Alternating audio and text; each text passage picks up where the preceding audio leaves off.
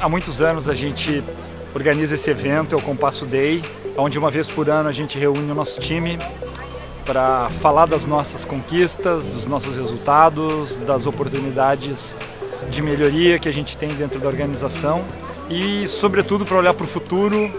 para definir ideias, sempre tendo como pilar as pessoas, esse nosso time que é quem entrega o resultado da companhia, que é quem leva uh, todas as nossas frentes de inovação, transformando elas em projetos que transformam o negócio uh, dos nossos clientes, das organizações que a gente atua.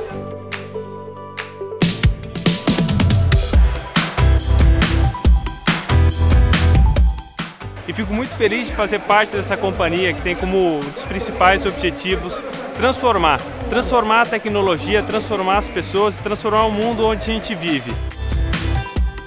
Nesse mês de março agora, a gente vai fazer a primeira entrega do primeiro robô de RPA da Software AG no Brasil.